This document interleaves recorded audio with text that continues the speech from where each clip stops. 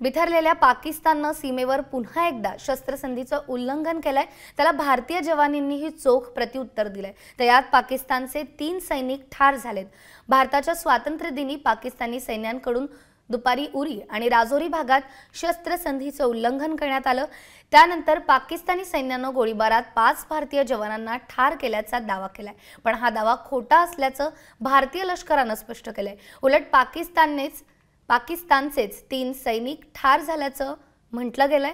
तर दरम्यान स्वातंत्र्य दिनाच्या पूर्वसंध्येला पाकिस्तानी सैन्यानं काही दहशतवाद्यांनी उरी सेक्टरमधून काश्मीरमध्ये घुसवण्याचा प्रयत्न केला असं लष्कराकडून कळतं आहे